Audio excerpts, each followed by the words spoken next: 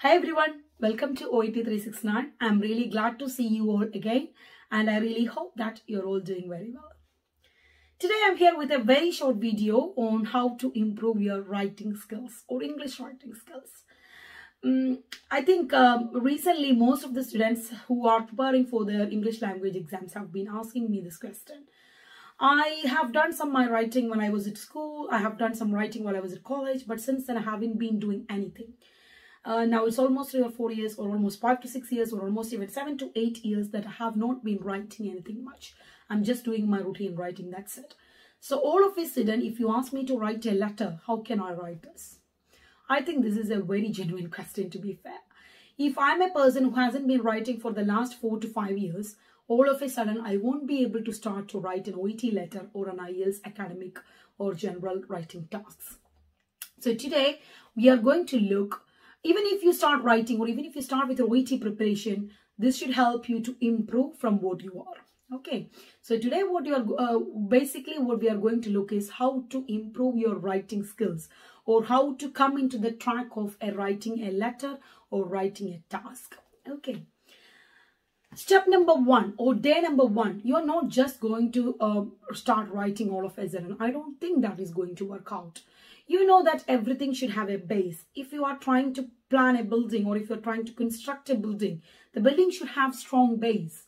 Otherwise, how much guarantee that building has? Maybe one or two years, then it's gone. It will have problems. Um, uh, you know, every time we look for quality products because you can then, you are then assured that you've got enough time or you're then assured that you've got enough um, you know quality. So you can trust that um, trust that uh, particular product. If you're trying to bake a cake you will actually try to you know put a strong foundation by adding enough ingredients to that cake. One of the ingredients are less that cake may just do uh, you know you won't be able to bake that in a perfect way. Same like all of this when you try to writing develop your writing skills you should have a base. You should have a foundation Otherwise, there is no guarantee for your test results. If you have a foundation um, for, uh, you know, your writing, then your test results are guaranteed. This is from my experience. I've been doing um, English tutoring for the last mm, couple of years or many years and uh, I, this is what my um, you know uh, findings from my own students those who had a strong base had always a guarantee on their results and i think we need that guarantee Otherwise, we are just going to lose our money and time, all we have spent. Okay, so today we are going to see how can I guarantee my OET writing score. Step number one, just don't start writing whatever you know, okay? On day one or on the uh, part of, on you know, as a part of my improvement process on day one, I would start with reading something. You just can't all of a sudden go and write a letter. Read something.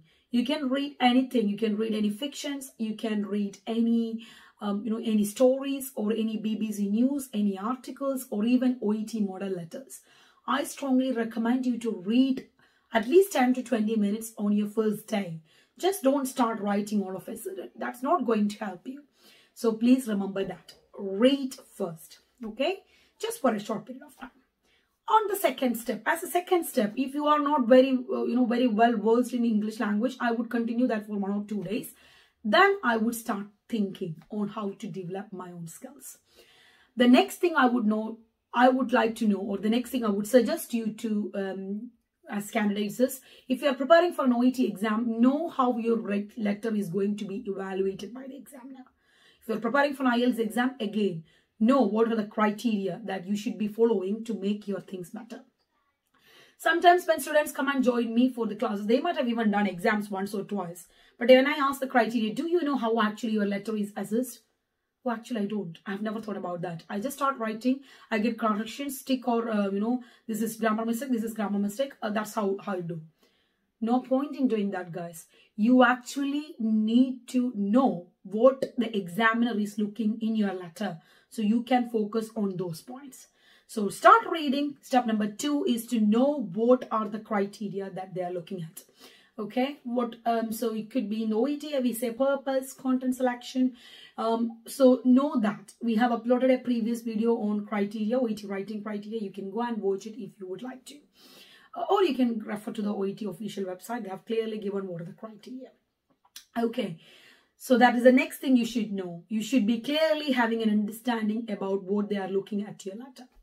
The third thing, start with writing. I would say start only. I won't write a you know, a full letter in the beginning.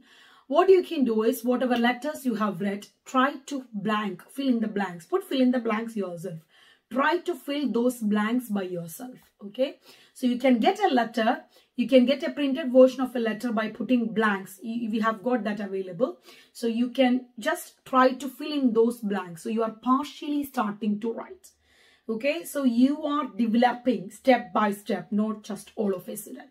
So I will start filling those letters. So I have an idea on what I'm looking for in each sentence. So if you have like a 22 sentence in an OET letter, leave at least um, one blank in each sentence and you try to fill that blank, which should then remind you what you are doing.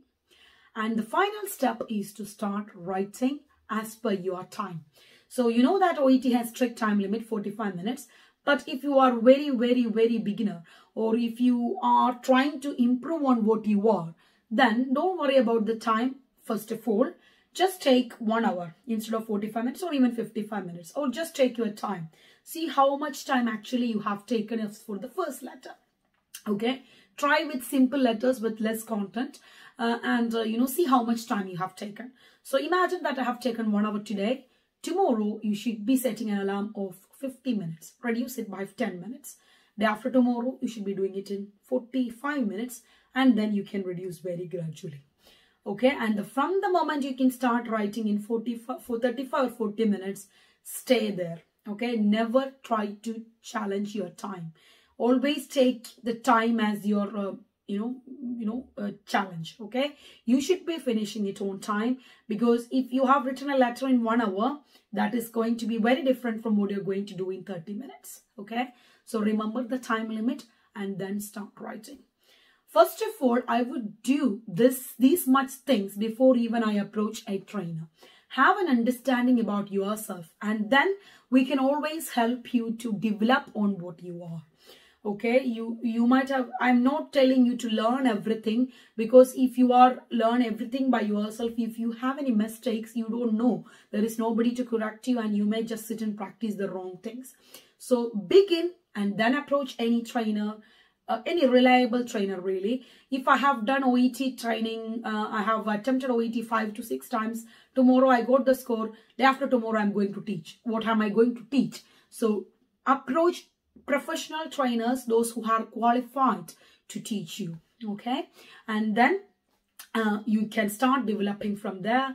Always try each task in the time limit. And whenever you are writing a letter, the last step is to improve from what you are, which means you need to rewrite all your letters. So you correct, you get the corrections of the letter, rewrite it. If you haven't rewritten it, the letter that you have wrote will stay in your mind. Okay, so I strongly recommend you to rewrite the letter, understand what were the mistakes, and then if you want, you can even write it and keep on what your don'ts are or what your what are your problems. Try to overcome that in the next one.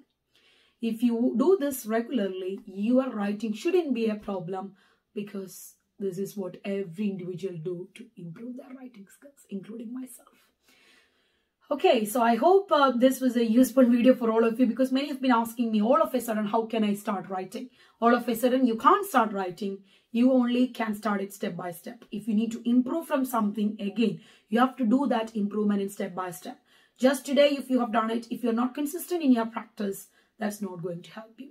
Again, always listen to my motto, listen English, be, uh, get training in English, speak to your trainer in English, this should improve automatically your English language proficiency.